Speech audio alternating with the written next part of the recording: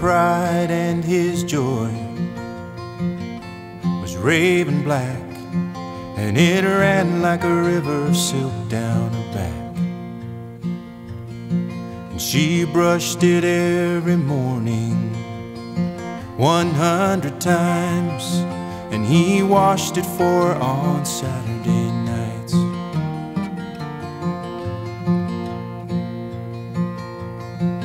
Then a drought struck the heartland in 1935, and they didn't have water for Saturday nights.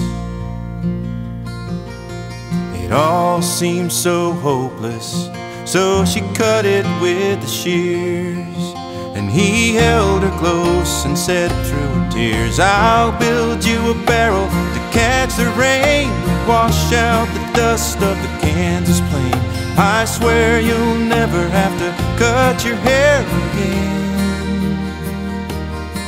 If it's the last thing I do on this earthly plane, I'll give you a barrel of.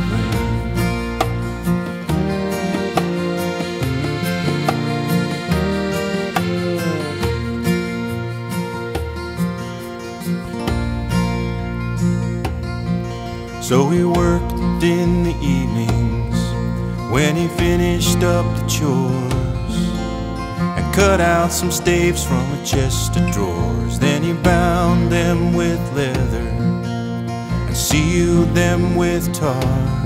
Then he got to his knees and prayed in the yard. I've built this barrel to catch the rain, wash out the dust of the Kansas plain. If you give me this, Lord, I'll never ask nothing again. Just a little thundercloud now and then to give her a barrel of rain. Mm-hmm. Mm-hmm.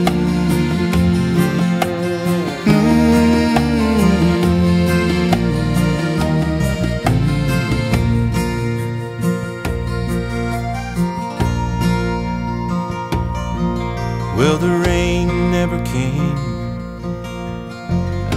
Barrel sat dry, and she watched as the truth of it ate him alive.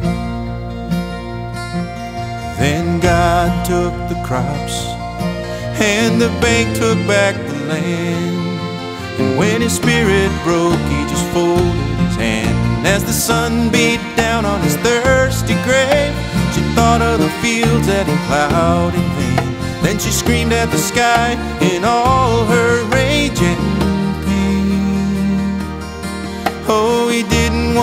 much and he never complained. Dear God, he just wanted a barrel of rain. Mm, mm, mm.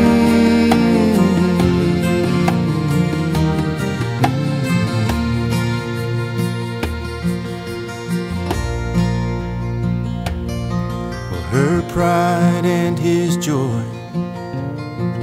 now white as milk, and it runs down her back like a river of silk. And all that she brought to these Oregon shores was a barrel made out of an old chest of drawers. And the neighbors all whisper that she's insane, the way that she stares at the driving rain and waits for the gutters to fill it up Saturday nights, if the sky's tame, she washes her hair in a barrel of rain.